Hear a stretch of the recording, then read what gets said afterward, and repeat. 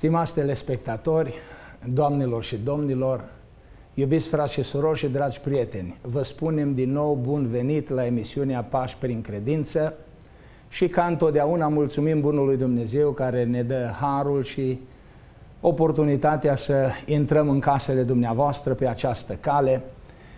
De asemenea, vă mulțumim dumneavoastră pentru că ne spuneți bun venit Uh, și petreceți aproximativ o oră împreună cu noi în cadrul acestor emisiuni. Uh, vă mulțumim, vă mulțumim uh, dumneavoastră care vizionați emisiunea, mulțumim întotdeauna echipei Credo și celor care stau în spatele camerelor, oameni dedicați pe care dumneavoastră nu-i cunoașteți, poate mai citiți numele lor pe screen, dar oamenii aceștia se pun la dispoziția lui Dumnezeu ca să Uh, fie folosiți pentru uh, realizarea acestor emisiuni și binecuvântarea sufletelor dumneavoastră. Uh, și această emisiune credem că va reprezenta o bogăție spirituală pentru cei care ne urmăresc. După cum dumneavoastră știți, în cadrul emisiunilor Pași prin credință avem câte un invitat, uneori doi, în general, dacă sunt doi, avem o familie. De data aceasta avem un invitat uh, uh, de vizita căruia am profitat uh, fiind în Arizona și îi mulțumim că a răspuns invitației noastre. Dumnealui poate ne vizitează o dată pe an, o dată la 2 ani sau la 3 sau la 5 ani când ajunge prin America. Vine tocmai de pe lângă orașele dumneavoastră, poate sau localitățile dumneavoastră sau mai de departe tocmai din Galați. Uh, îi spunem bun venit cu această ocazie păstorului Mihai Drumitrașcu, care a răspuns invitației noastre. Uh, dumnealui slujește în uh, Galați, România. Majoritatea credincioșilor penticostali cred că deja îl cunosc din cauza slujirii dumnealui extinse atât în România cât și în Statele Unite, vizitându-ne de mai multe ori de-a lungul anilor. Uh, ne bucurăm să-l avem împreună cu noi. Uh, cum uh, vorbeam cu dânsul, cred că ieri când stabileam această întrunire, sau chiar azi dimineață, nu, azi dimineață când exact. v-am sunat, îi spuneam fratelui Dumitrașcu, sesiunea aceasta nu este un timp în care dezbatem adevăruri teologice sau uh, analizăm anumite texte biblice, ci mai degrabă împărtășirea unor experiențe uh, ale vieții, împărtășirea unor uh, momente cruciale care a marcat uh, viața dumnealui. Uh, așa că, frate Mihai, Începem cu mulțumire, vă mulțumim că ați venit și, și sunteți împreună și apreciez foarte mult oportunitatea pe care mi-o oferiți, pe lângă faptul că vă pot vizita și interacționa cu comunitatea română creștină din diaspora, în, în mod specific de aici, din Arizona, să pot fi în cadrul emisiunii dumneavoastră. Încă o dată, mulțumesc mult! Uh, vă ascultăm.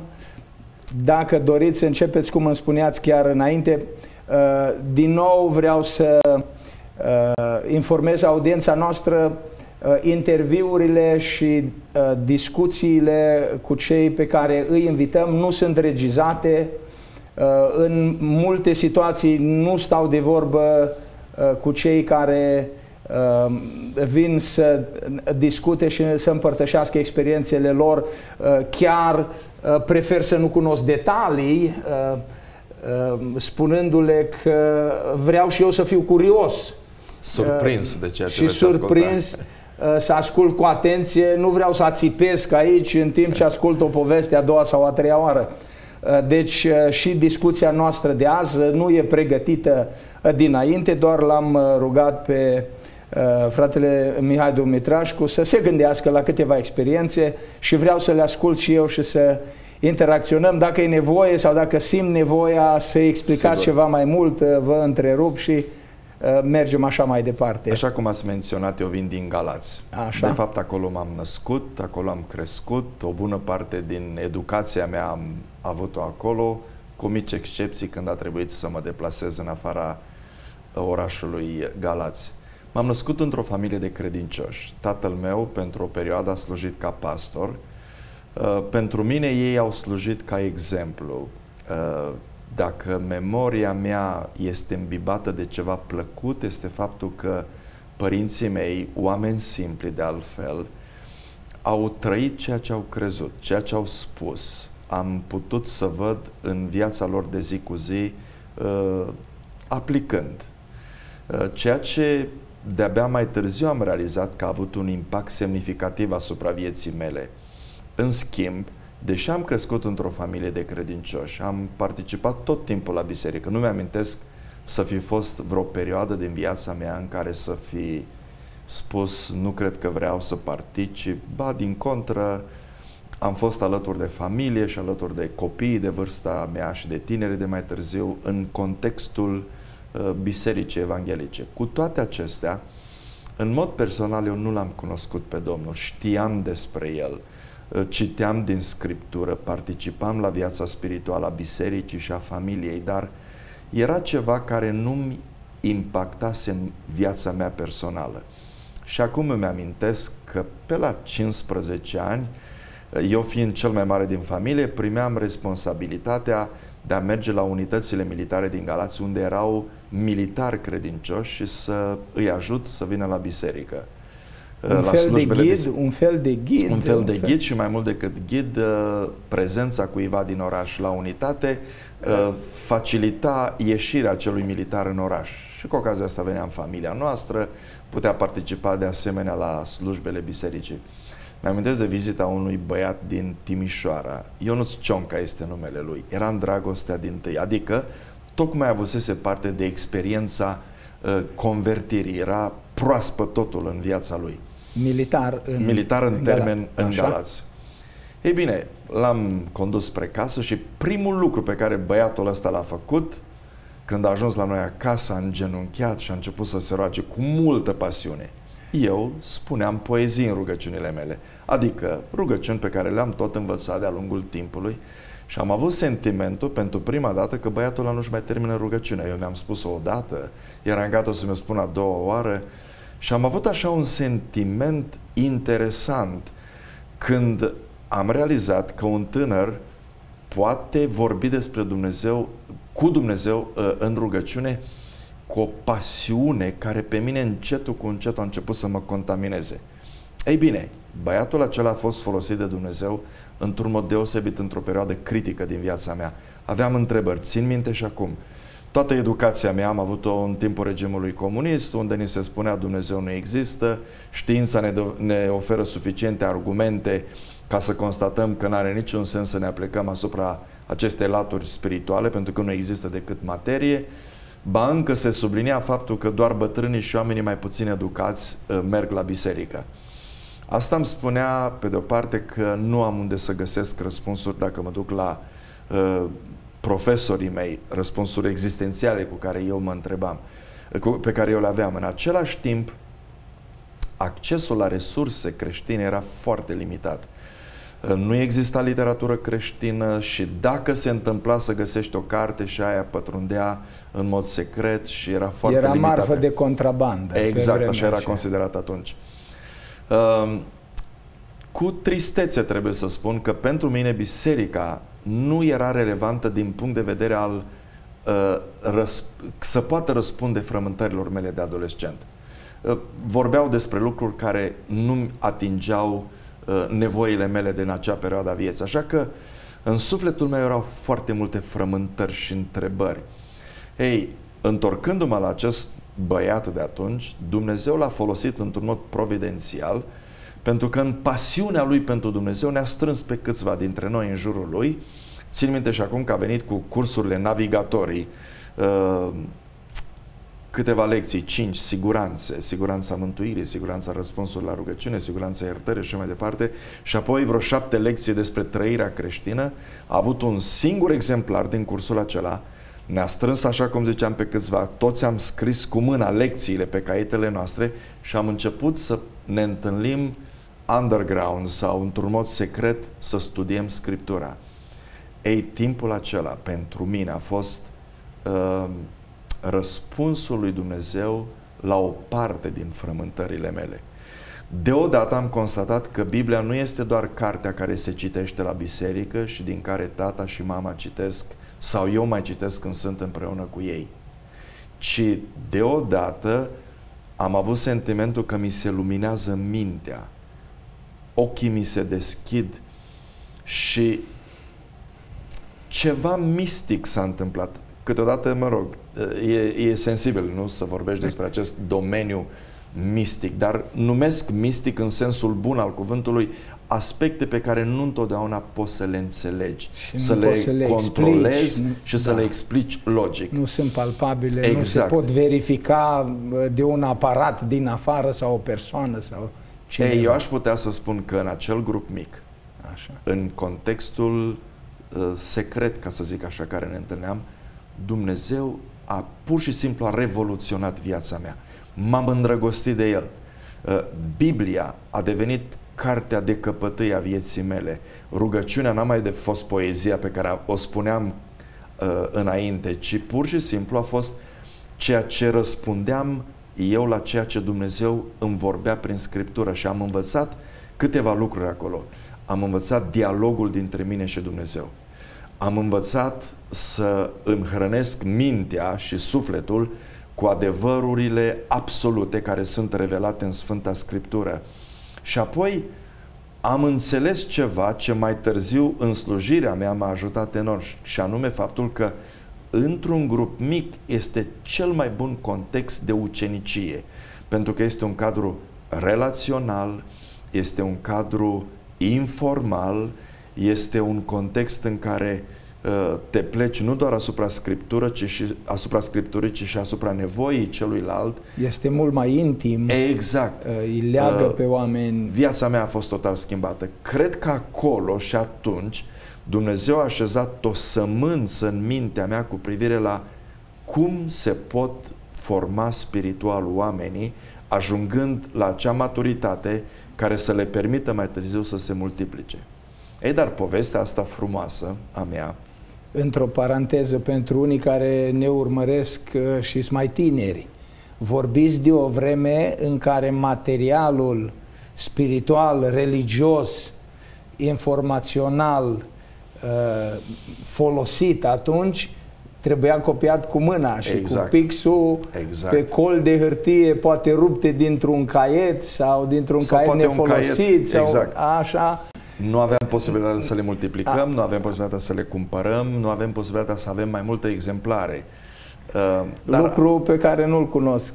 Uh, copiii mei nu, nu, nu cred că pot înțelege lucrul acesta, deși avem momente în familie în care le povestesc. Bancă le spun un moment frumos din viața familiei noastre. Mi-amintesc că aveam în sufrageria noastră o bibliotecă cu multe cărți uh, laice, dar undeva în mijloc era o secțiune care era închisă cu un capac, cu, un, cu o ușă, unde țineam cărțile religioase pe care le primeam în secret. Și care, așa cum ați menționat puțin mai devreme, erau considerate de autoritățile de atunci contrabandă, pentru că uh, vorbeau despre existența lui Dumnezeu, ceea ce guvernul comunist cumva considera că este un afront direct la ideologia pe care ei o uh, transmiteau prin tot sistemul educațional de la acea vreme. Ei bine, am primit vizita a trei milițieni, cum s-au numit ei atunci în civil la noi acasă, spunându-ne că uh, sunt reclamații că avem mâncare mai multă decât trebuie. O paranteză, încă o paranteză la această paranteză, mâncarea era raționalizată. Și cumva se considera că e mai mult decât ne permitea tichetul acela cu care trebuia să ne ducem să ne luăm porția de mâncare în timpul uh, comunismului. Și ăsta a fost pretextul pentru a ne face o cercetare așa amănunțită a casei noastre. Dar foarte interesant că în timp ce căutau alimentele, cel mai mult timp l-au petrecut în biblioteca noastră. Și au luat fiecare carte, fiecare revistă, ce au găsit acolo și au uh, citit. Uh, minunea lui Dumnezeu este că acea parte din bibliotecă acoperită de o ușă, unde era tot materialul religios, nu l-au deschis. În ce a constat procesul lor verbal cu privire la uh, alimentele în plus pe care le-au găsit, au fost câteva voi, foi scrise de mână despre experiența cuiva cu Dumnezeu. Și în procesul verbal asta s-a consemnat, ceea ce pe noi ne-a ajutat să înțelegem că de fapt obiectivul lor a fost alta. Mă rog, asta ca să vorbesc un pic despre da. vremea, vremea aceea în care avea o Biblie uh, presupunea foarte mult. Te, te considerai un, un om fericit, binecuvântat, să poți avea acces la ea. E bine, a terminat liceu. Așa. Terminat liceu citindu-l pe uh, uh, uh, fratele uh, am un lapsus acum uh, și totuși Biblia este adevărată, este cartea pe okay, care a scris-o Popovici? Uh, fratele Popovici, pastorul Popovici a, din așa. Statele Unite, locuia atunci a, în Statele așa. Unite și cunoscând nevoia din România, el a scris două cărți pentru mine au fost foarte importantă. Una e și totuși Biblia este adevărată. Exact, și, acum și cealaltă este și totuși Dumnezeu există. A, așa, da. Mi-amintesc că le-am savurat la acea vreme. Și cumva când am terminat liceu am avut sentimentul că uh, am primit suficiente argumente nu doar pentru a-mi consolida credința mea, ci cumva pentru a fi în stare să pot vorbi și altora despre valorile creștine. Am intrat la facultate, Universitatea din Galați și am plecat în armată. Pentru 9 luni am fost în unitatea militară în care erau toți studenții Universității din Galați. Eram singurul credincios evanghelic, printre 300 de alți uh, colegi de-ai mei. Mi-amintesc că am obținut un Nou Testament foarte mic, pe care tot timpul l-am păstrat sub hainele mele și singurul loc unde îl citeam și aveam timpul meu de părtășie pentru că îmi, îmi dezvoltasem această disciplină spirituală ca în fiecare dimineață să citesc din Scriptură și să mă rog, sau din Biblie. E bine, mă retrăgeam în toaletă, era singurul loc unde puteam fi eu însumi. Îmi scoteam acel Nou Testament. Erau de dimensiuni foarte mici. Da, se putea ascundea. E, ascunde ușor, da.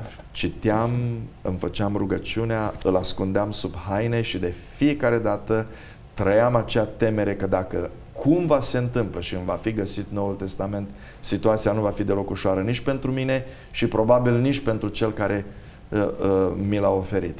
Dar, cumva surprinzător, uh, lucrul acesta nu s-a întâmplat. În schimb, a fost ceva uh, care, a avut, care a avut o influență foarte mare asupra vieții mele.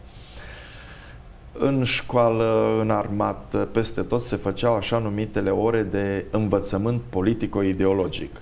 Era modul yes. în care cumva guvernul comunist vrea să se asigure că orice cetățean al patriei inclusiv price... soldații exact pricep că comunismul este cea mai înaltă orânduire socială, cum ni se spune atunci, și că orice altă formă uh, cumva este nesănătoasă.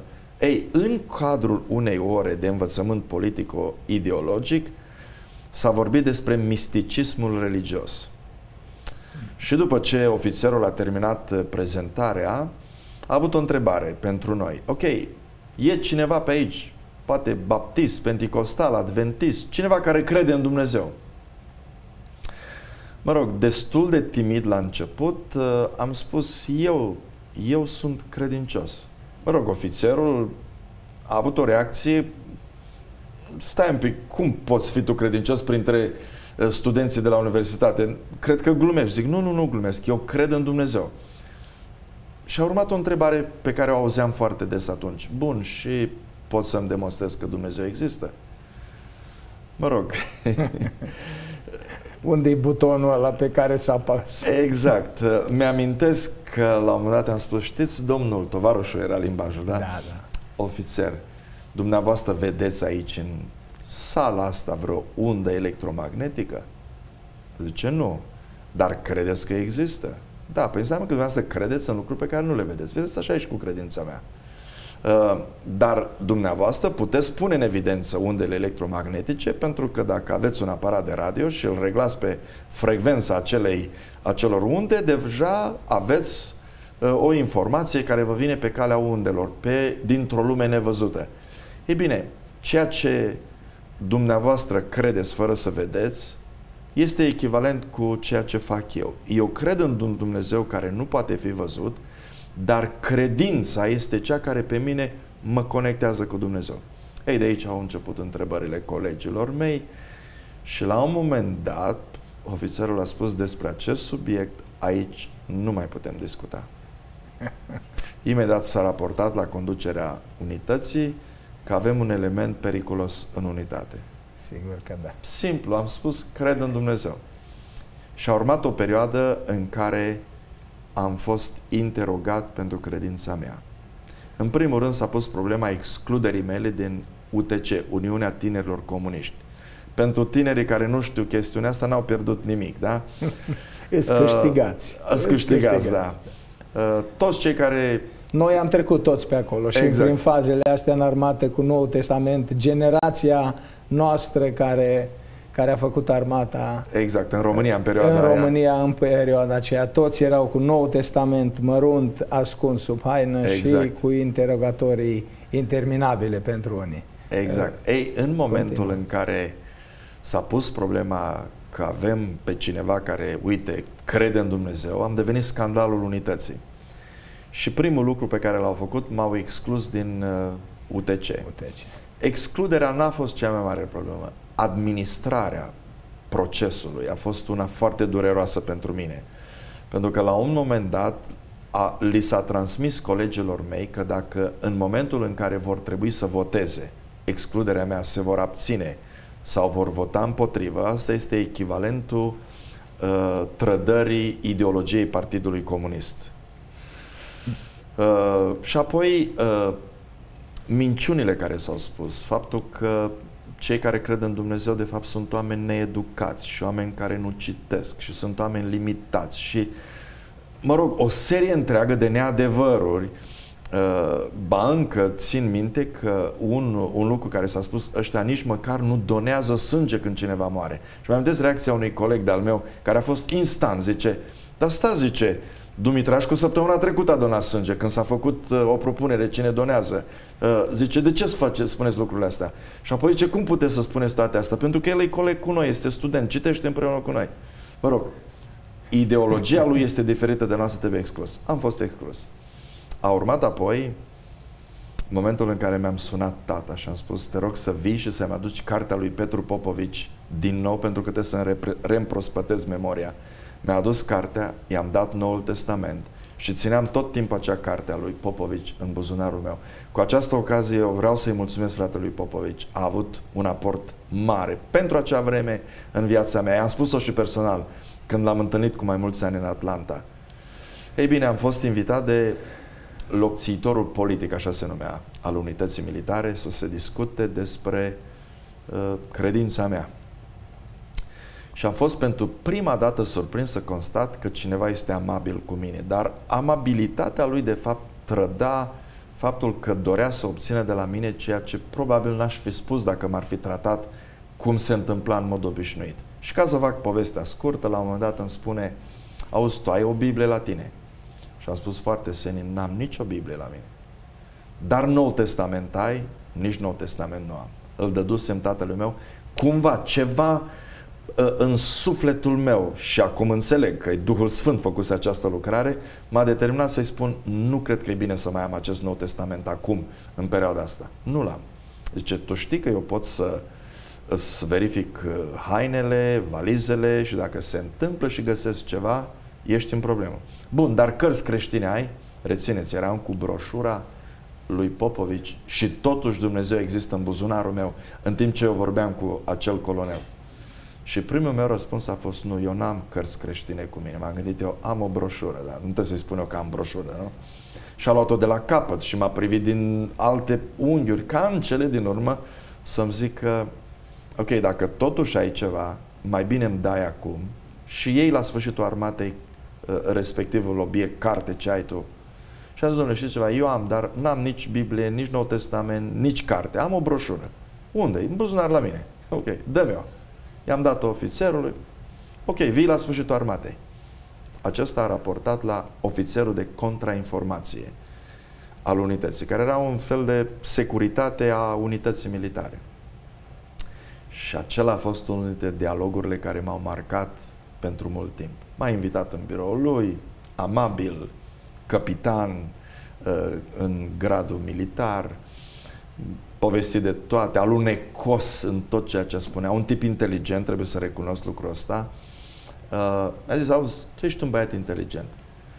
Tu l-ai văzut vreodată pe Dumnezeu, dar nu m-a lăsat să uh, răspund, că el așa anticipat posibilele răspunsuri. Zice, și bănuiesc că dacă l-ai văzut, l-ai văzut noaptea, ai avut așa vreo halucinație sau când erai între uh, adormit și treaz. și, mă rog, știți, când ești tânăr așa, răspuns câteodată fără să procesezi, dar arăt chiar așa de prost că pot să vorbesc despre chestiuni din astea. Zice, nu, nu, nu, zice, dar totuși, cum poți tu să crezi în Dumnezeu? Ei, ăla a fost momentul în care eu am început să-i vorbesc despre Dumnezeu și cum crede un Dumnezeu și de ce crede un Dumnezeu. Îmi zice, la auzi, știi ceva? După ce terminăm conversația asta, mergem pe plajă, am făcut armata la Mangalia, la Marină. Găsim câteva fete, ne distrăm, uiți tu și de Dumnezeu și de Evanghelie, nu are ce rost să-ți pierzi timpul cu lucrurile astea. Zic că hmm. tovarășul ofițer, dumneavoastră puteți merge, dar eu nu cred că o să îmi găsesc plăcerea în ceea ce îmi propuneți. Dar zice, am totuși o întrebare pentru tine.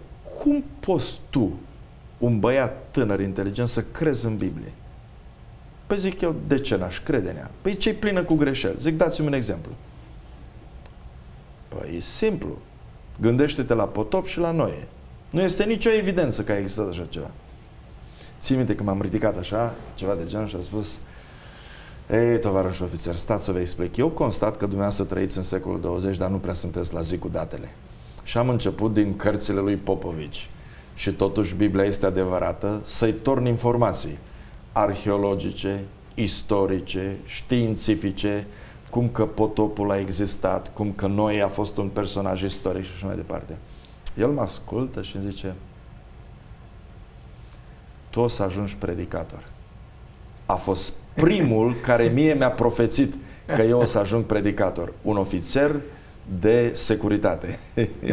și acum zâmbesc cu plăcere și mi-ar plăcea să-l pot întâlni și să-i spun că a fost un profet bun.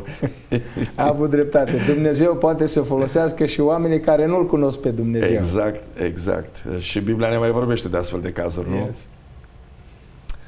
Dar zice, totuși, tu ești prea naiv să crezi asta. Mm. Vreo două ore a durat discuția noastră și la un moment dat îmi zice, știi ceva? Eu am jucat fotbal puțin mai devreme și mi-am pierdut cheia de la apartament pe terenul de fotbal. Uite, o probă acum ca tu să-mi demonstrezi că Dumnezeu există. Tu te rogi la Dumnezeu ca să-ți arate unde e cheia mea. Hai să ieșim din birou. Domnul Cornel, am avut sentimentul că îmi sare inima din piept. N-am fost pregătit deloc pentru așa ceva. Un test la minut. Am ieșit. Doamne, unde ești? Doamne, ce mă fac? Și la un moment dat îi spun... Ca Elisei în fața Iordanului. Exact. Și îi spun, știți ceva, tovarășul capitan? Dumnezeu poate răspunde la întrebări, la cereri, dar El nu poate fi ispitit. Și am plecat și am ajuns împreună la terenul de fotbal. Și în momentul în care am ajuns la teren, unul dintre militari în termen, noi eram acolo și militari cu termen redus uh-huh. și erau și militari în termen, a venit și a spus ofițerului în fața mea, tovarășul capitan, am găsit cheia asta. Eu cred că e cheia dumneavoastră. Și în fața mea îi dă cheia capitanului. Ăsta se uită la mine surprins, ce tu ești un tip norocos, mai. Zice, hai să încercăm altceva. Zice, asta ți-a ieșit, zice, vreau să încercăm alta, să văd dacă îți mai iese. Zice, mergem într-o altă zi, eu ascund cheia în iarbă și tu te rogi lui Dumnezeu și El îți arată unde e cheia mea. Slavă Domnului că nu s-a mai întâmplat asta. Ce a făcut respectiv? M-a raportat la conducerea centrală a, armat, a, a marinei. Așa. Precum că sunt un tip periculos care prin argumentele mele îmi influențez colegii.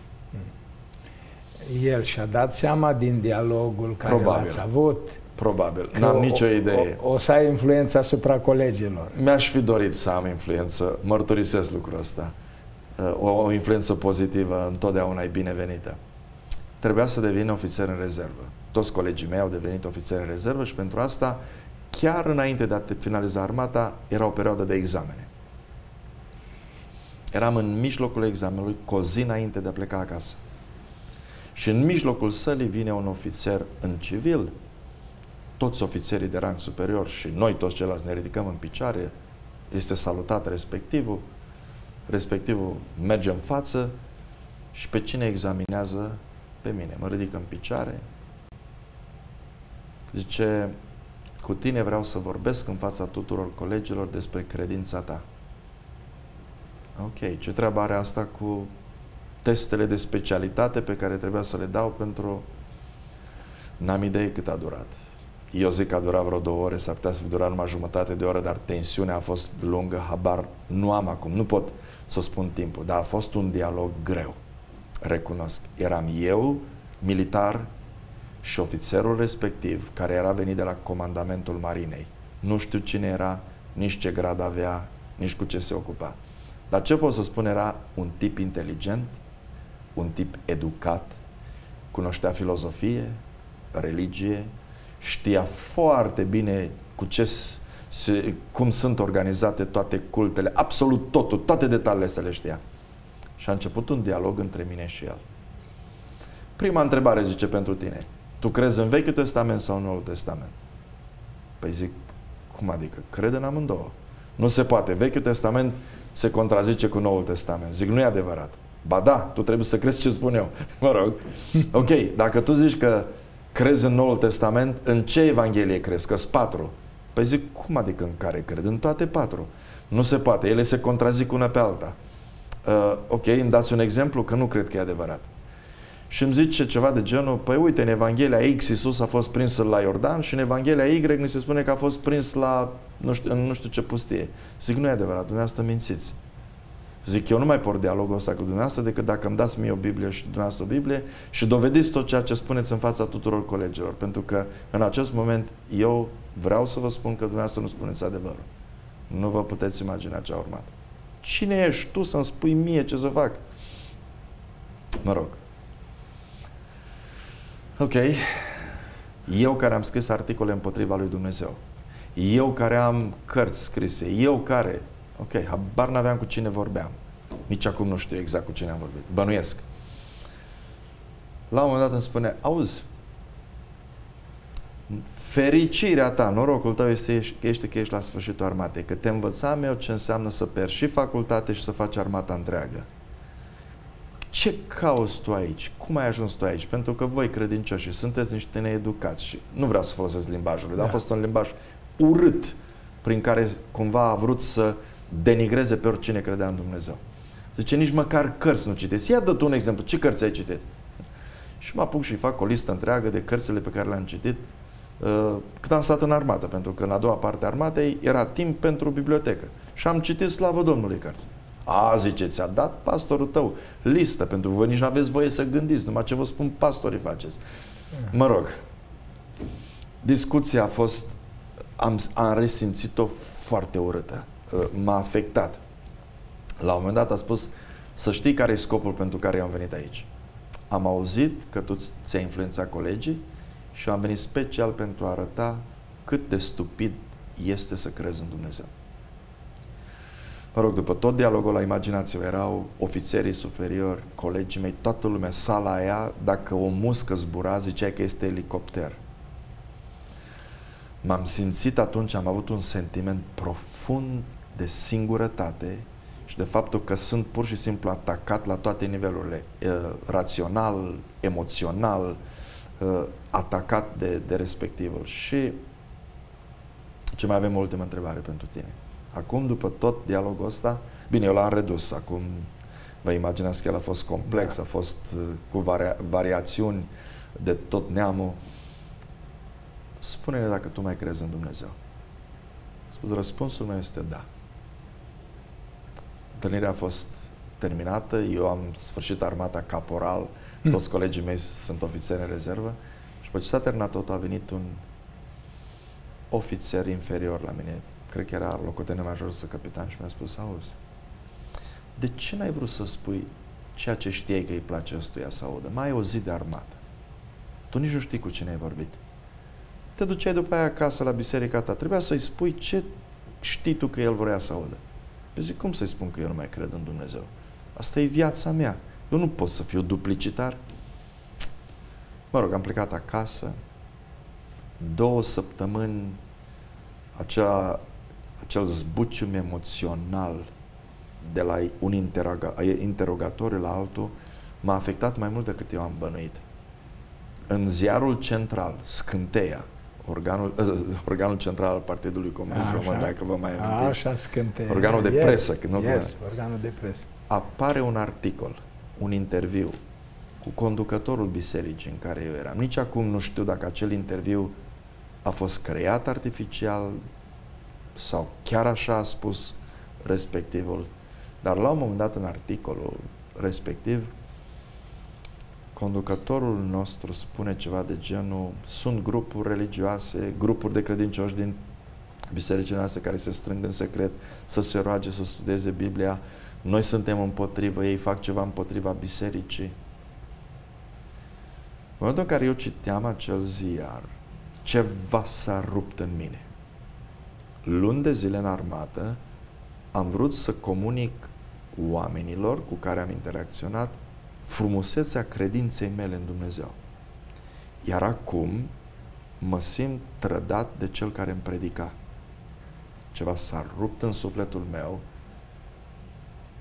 și domnul Cornel, următoarele zile mă duceam să-mi țin timpul de părtășie, pentru că aveam această disciplină.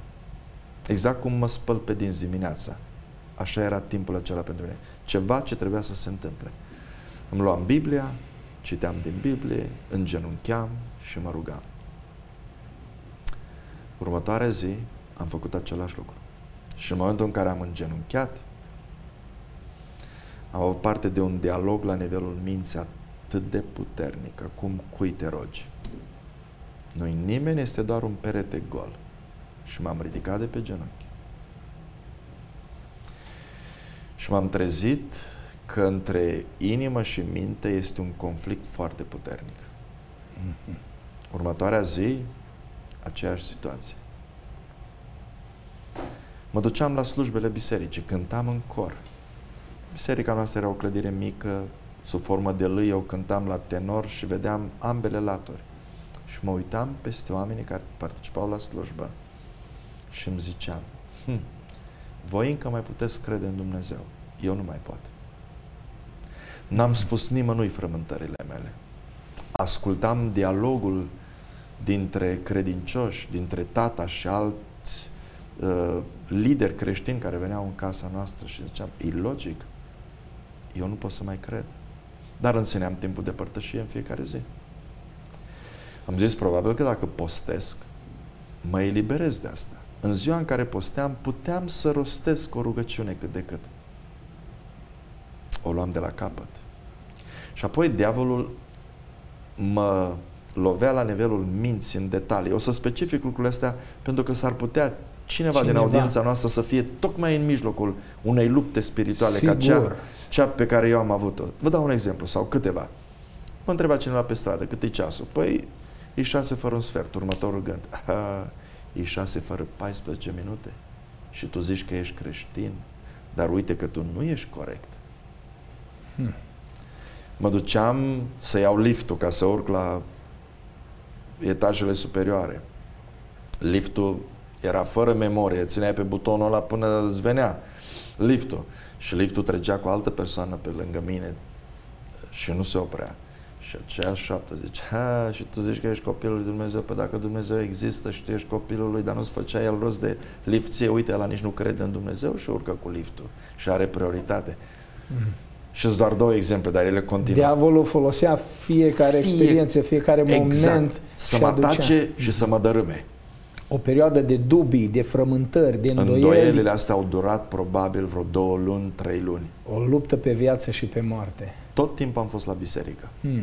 Tot timpul m-am dus, am cântat cum spuneam în cor Și mă uitam peste credincioșii care se rugau și spuneam, îmi ziceam așa, hm, aș da oricât, odată să mă mai pot ruga cu credință. Mm. Ei, dar sufletul meu se îngreuna cu o povară foarte mare. Și într-o zi, mă rog, eu sunt uh, cel mai mare din 10 copii. În casa noastră nu era un loc unde să fie doar camera mea. Dar într-o după amiază, așa a creat Dumnezeu lucrurile, cumva că am rămas cam singur în toată casa. Sau eu cel puțin așa am avut impresia. M-am dus în camera în care îmi țineam eu timpul de părtășie, era într-o după amiază, am îngenunchiat, am oftat și am spus, Doamne, eu nu mai pot așa. Uite, vreau să spun ceva. Vreau să spun că eu nu mai cred în tine. Acum, asta încă o dată sublinează chiar lupta mea, de că îi spuneam cuiva că nu mai cred în el. Mm. Dar, Doamne,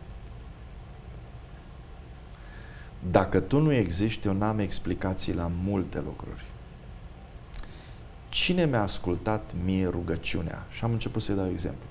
Atunci, și atunci, și atunci.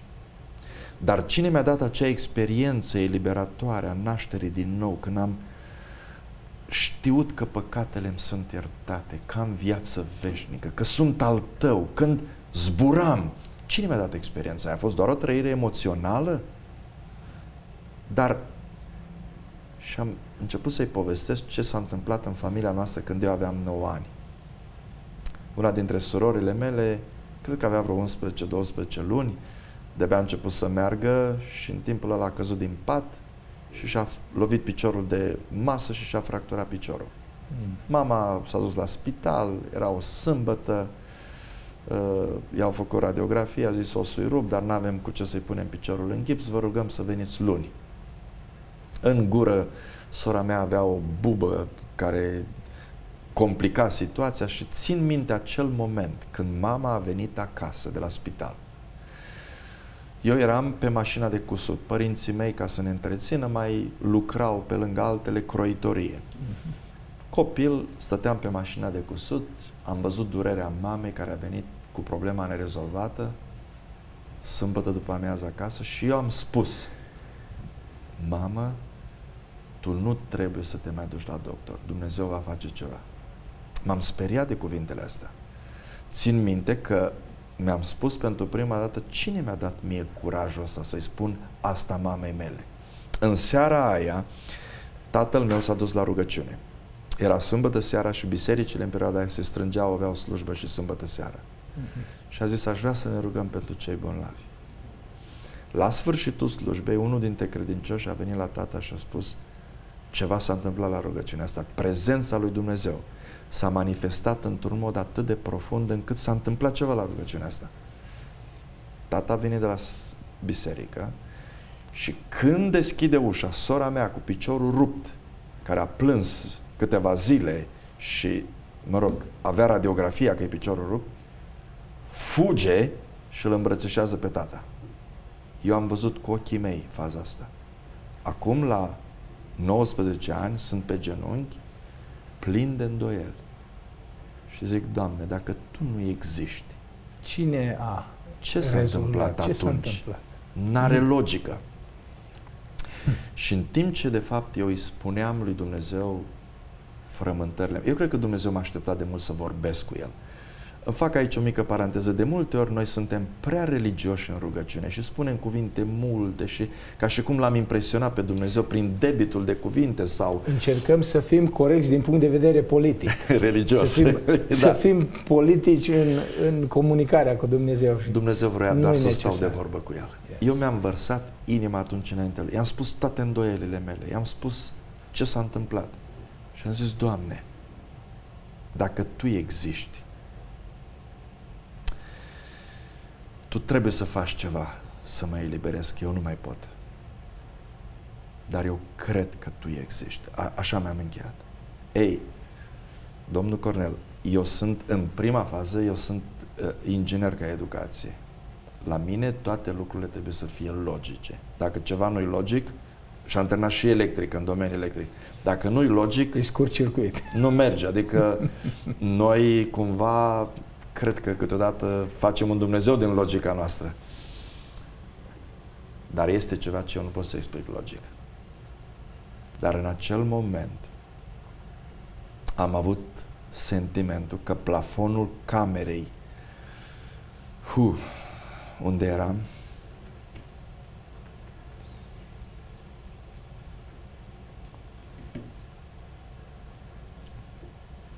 în prezent scuze s-a desfăcut. Am avut sentimentul că ceva ori se ridică pământul în cer, ori se coboară cerul pe pământ. A coborât cerul pe pământ. Am fost eliberat și ceva supranatural mi-a umplut sufletul. Țin minte că mi-am uh, sfârșit uh, timpul acela cântând ceva. Poate că se cânta și în Maramureș, nu, nu știu, era un cântec uh, foarte popular, să zic așa, nouă tinerilor, care zicea cam așa. Uh, ce multe sunt, ce nu înțeleg, ce multe există, ce nici nu știu. Dar una știu și sunt sigur. Isus e viu, în mine e viu. N-am avut puterea să spun despre experiența asta decât ani mai târziu. A fost prea sacră. A fost a mea. Um, Ce mi se pare interesant e că în rugăciunea aceea în care vorbeați cu Dumnezeu și, și puneați întrebări lui Dumnezeu, dacă El nu există, cine a răspuns, cine a rezolvat, cine a intervenit, de fapt, cred că Duhul Sfânt aducea, prin rugăciune, aducea argumente exact. existenței și intervențiilor lui Dumnezeu de-a lungul anilor și, exact. și lucra, de fapt, Duhul lui Dumnezeu lucra în inima dumneavoastră la o uh, refacere a credinței, la o, o rezidire, o restaurare, o, da. o reabilitare în, într-o relație mea vie avea nevoie de argumente. Vedeți, uh, așa cum sunt eu construit, deși sunt o persoană emoțională, v-am demonstrat chiar acum cât da. de... Uh, toți suntem. Uh, da, toți avem cred, emoții. Cred. Dar, uh, vedeți, la mine emoțiile după aceea trebuie să capete convingeri raționale. Pentru că dacă nu se întâmplă lucrul ăsta, uh, se produce o nemulțumire profundă. Uh, și sigur că a urmat o perioadă de consolidare a credinței mele, de umblare în, în lumina descoperirii pe care Dumnezeu mi-o făcea în uh, citirea Scripturii și nu numai. Ei, dacă mă uit acum în urmă, înțeleg că în tot știința lui Dumnezeu, El mi-a îngăduit să trec pe acolo. Eu nu anticipam atunci că voi fi vreodată pastor. Nu m-am văzut pastor, să știți. Dar uh, lucrul cu oamenii presupune să te poți identifica cu ei, empatie, eu n-aș fi putut înțelege pe nimeni care îmi spunea nu cred în Dumnezeu sau uite, mă simt atât de dărâmat că nu mă pot ruga. Cum să nu te poți ruga? De atât de normal să te poți ruga. Uh, Dumnezeu m-a trecut pe acolo ca să-mi consolideze pe de-o parte credința mea, dar în același timp să formeze ceva ceea ce El urma să folosească în Mai. relația cu oamenii. Iată că timpul nostru s-a scurs după Uh, un interviu binecuvântat uh, care credem că va îmbogăți sufletele dumneavoastră. Uh, pastorul Mihai Dumitrașcu din Galați ne-a istorisit câteva din experiențele vieții lui, chiar și o perioadă de dubii, multe semne de întrebare, puține răspunsuri, în care Dumnezeu din nou a intervenit, l-a întărit, a fost reabilitat uh, din punct de vedere spiritual în relația lui uh, cu Dumnezeu. Uh, sunt convins că prin providență divină aceste experiențe împărtășite în această zi vor fi o binecuvântare pentru dumneavoastră, vă vor ajuta. Mă rog și doresc din toată inima ca Duhul Sfânt să vă sensibilizeze să vă regleze pe aceeași lungime de undă, aceeași lungime de undă cu cei care, care împărtășesc Cuvântul lui Dumnezeu și experiențele lor și credem că va fi pentru binele și binecuvântarea dumneavoastră. Vă încredințăm în brațul lui Dumnezeu, vă mulțumim pentru că ați petrecut împreună cu noi în această ultimă oră mult har și pace.